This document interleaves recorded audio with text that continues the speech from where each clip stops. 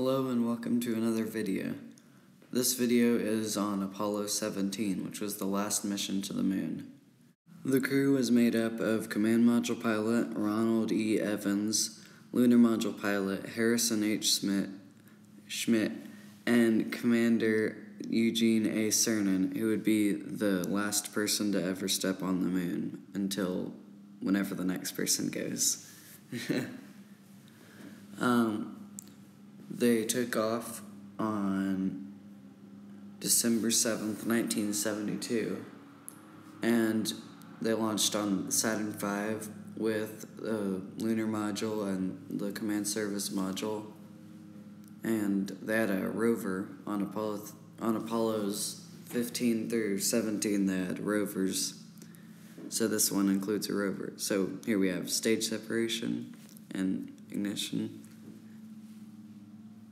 and there goes the interstage. And we're getting rid of this, or a quick save to get rid of this launch escape system because it falls off and breaks the docking port sometimes. And there we go. Quick save again. I'm putting together a rocket where part of it's 3D printed. I'm making my own rocket. So I'll probably get that done soon and make a video on it. and we have stage separation and S4B ignition now. And um, I was gonna add music into this video, but I couldn't. I couldn't really figure out like how to do it without just like recording off of my laptop, which I want. I don't really want to want to do that. So if you have any suggestions on how to get music in here without like recording it off of a laptop or something, then please tell me. you can tell me in the comments. So we're almost in orbit here, and now we've reached orbit. So now we're going to do our translunar injection burn, which will raise our apoapsis so it intersects with the moon's orbit and so that we'll be at the moon. so we have ignition of that burn, and you can probably hear the lawnmowers outside. so we're raising our apoapsis, and it's getting higher. There's the moon. And there we go. We'll have to do a bit of a correction. Wrong way.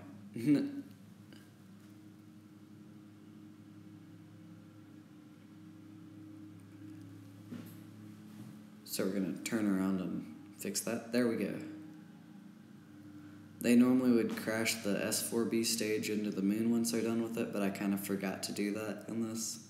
So it just flies by. And don't worry about the explosions that kept happening when I was testing this. So I just replaced part of the service module with the only part that would get damaged with the solar panel. See right there, because there's this glitch where the retracted solar panels are indestructible in the Spaceflight Simulator. So I just used that, and now everything's fine. So we're gonna go in for our docking. We just have to line everything up, and you can see the rover there normally what they do is in real life they had the they had the rover like folded up inside of the descent stage to the orange part of the lunar module. But you can't do that in Spaceflight Simulator, so I just had it attached, unfolded to the um, side of the lunar module, which you'll see later made it really hard to land. so we're done with that stage. So we're going to do a mid-course correction burn here soon. Oh, a screen recording has been saved to photos. I did not know that. Because I totally did not press the button to save it. Oh, and then there we go. We've done our mid-course correction and coming up on the moon. We're in its sphere of influence, so we're from we're using its gravity now.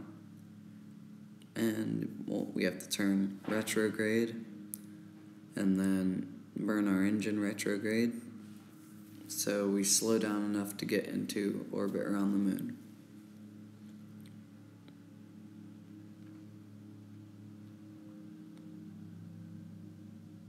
So there we are. And I actually changed this orbit on one of my landing attempts. So you'll see the orbit gets lower because this orbit I kept using up too much fuel on the descent stage and not having enough fuel to land. Because the rover made me use up, it was a lot heavier, or added a lot of weight, so it made me use up a lot more fuel. So you see, I get the command module away. Now we're in that lower orbit, as you see. And you'll watch the um, engine when I ignite it, it kind of like pushes the land it kind of rotates the lander a bit because of the weight of the ro- of the rover on one side. Or you'll see that in a second.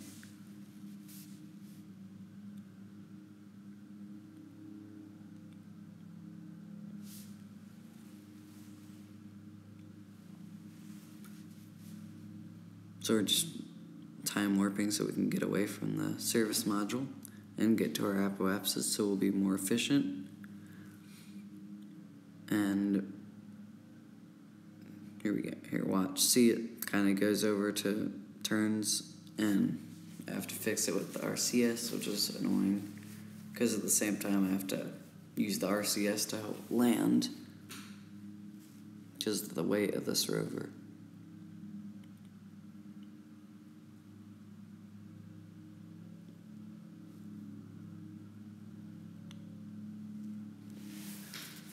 So we're not in orbit anymore.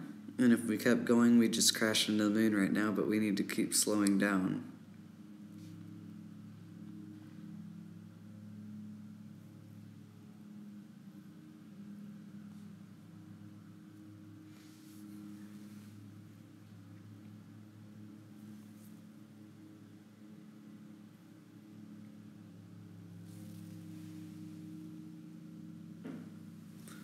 So we've slowed down quite a bit. In real life, they would not have this trouble with the landing because the folder would be, or the rover would be folded up.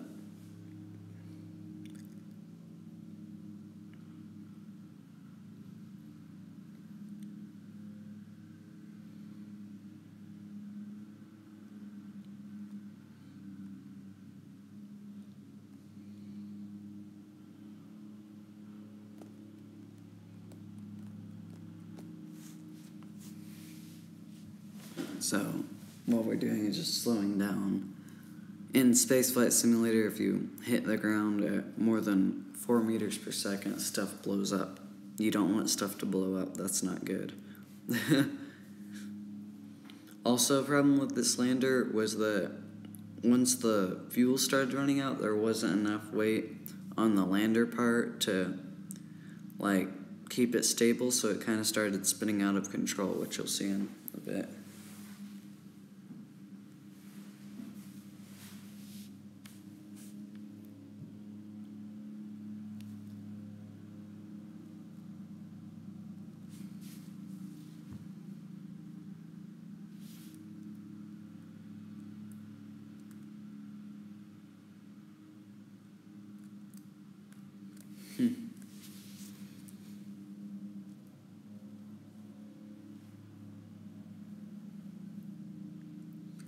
So this is actually like my third or fourth attempt at landing. The first two, I did it from like a bad orbit, or the first three, two or three, I did it from the other orbit, and I couldn't slow down, and then I changed it to this orbit, and it was still really hard to land, but I got it.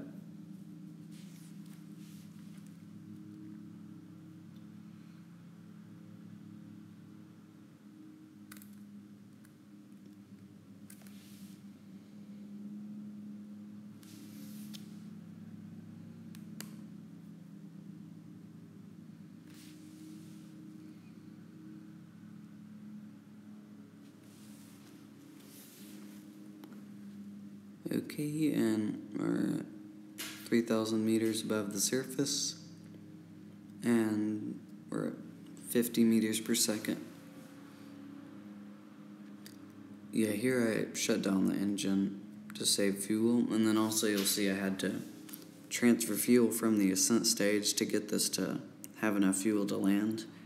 Luckily, the ascent stage has an ion engine, which I actually did not have enough fuel to use. See, it's flipping out now. But I would the RCS kind of they run off of for whatever reason they're still able to run off of electrical power in this game, which that's really helpful. okay, so yeah, kind of flipped out a bit there, you saw, and we're 1,000 meters at 35 meters per second.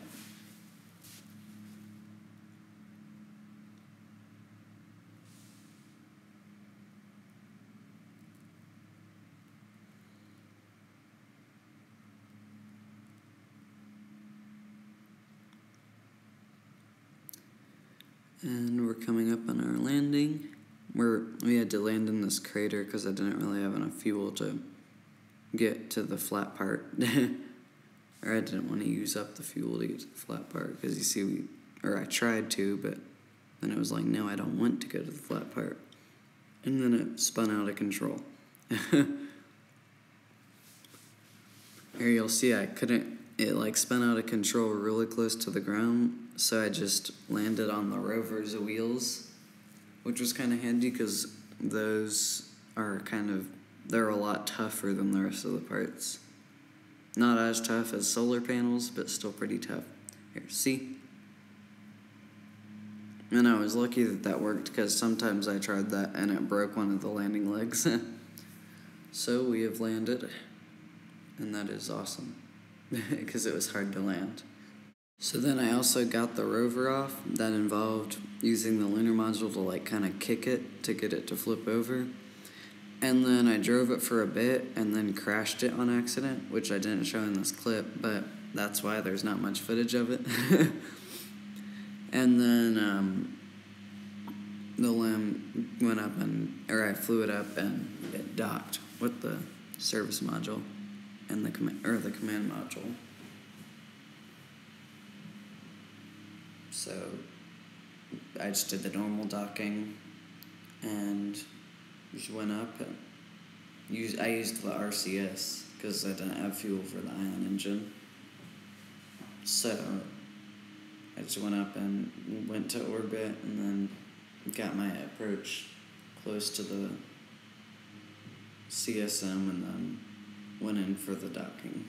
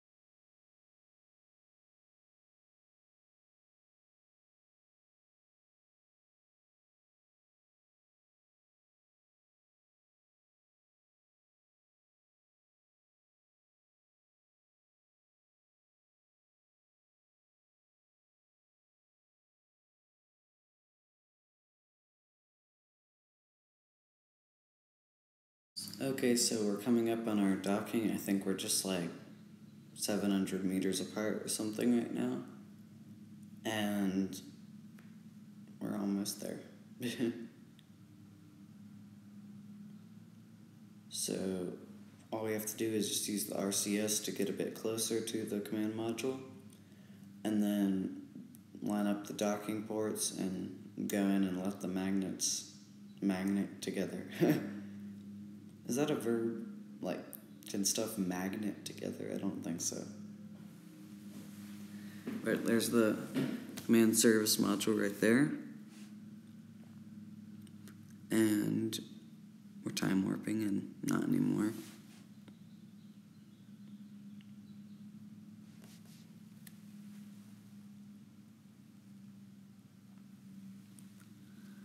Okay, so time warping more.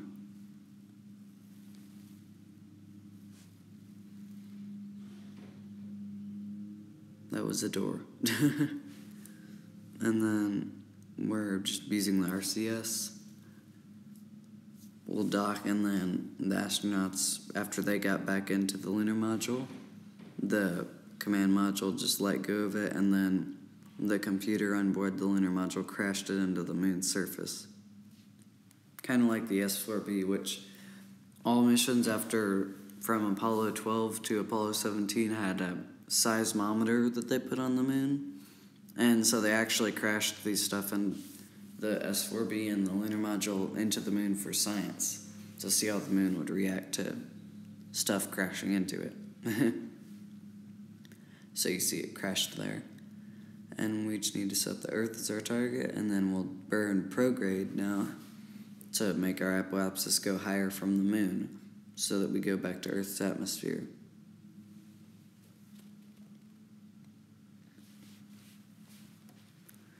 So we're going into the window and we have ignition on that, and then we shut it down because the window got too close, and then we have ignition again. And we shut it down again. then we have another ignition. And we want to get a good reentry that's not too steep and not too steep and not too shallow. so that's pretty good. We'll adjust it a bit.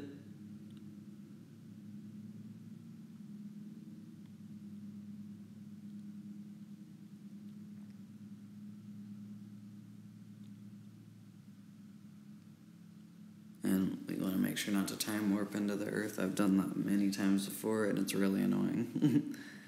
and then we can get rid of that service module. We don't need that anymore.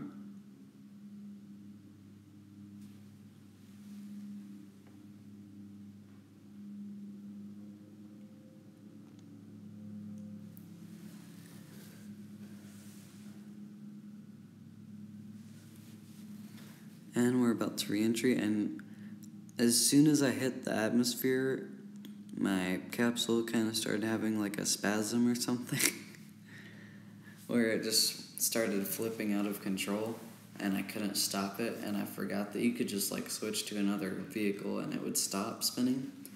So for like a minute, it was just spinning out of control, and then I realized, wait a second, I can just switch to another vehicle. Whoa! So yeah, it's just spinning. And I was wondering if I would have to just tap the parachute and hope that I tapped the correct place and not the stage separator that makes up the capsule, because then the capsule would kind of break.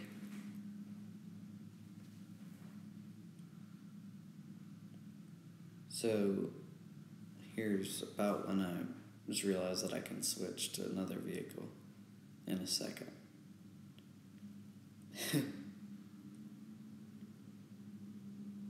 If this if this had astronauts on it, they'd probably be dead, but there aren't in this because Spaceflight Simulator doesn't have astronauts. Also, there's not a capsule inside of the capsule. There's just a probe.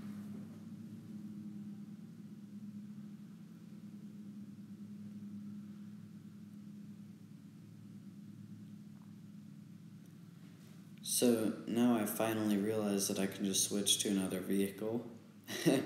and there we go, we're not spinning anymore. And in a second, we'll have a deployment of those parachute.